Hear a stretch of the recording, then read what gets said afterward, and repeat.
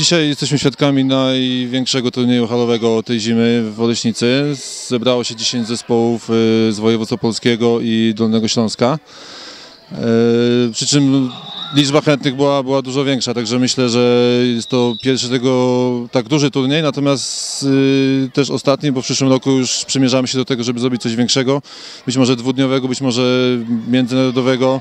Mamy kontakty w Czechach blisko, mamy kontakty w Niemczech też za granicą i, i przy odpowiedniej współpracy ze, ze szkołami, y, z internatem może z, chcielibyśmy zorganizować y, turnieje również międzynarodowe, międzynarodowe. Gramy dzisiaj w dwóch grupach, zespoły są podzielone na pięciozespołowe grupy.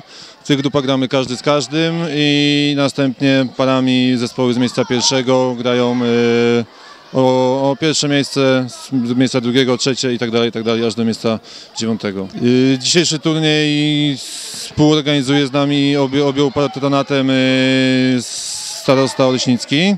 Natomiast całość, całość y, turniejów, y, jak i również ten, z racji tego, że, że wspiera nas Urząd Miasta, także, także współfinansuje i współorganizuje burmistrz Oleśnicy, przy czym tym samym Urząd Miasta.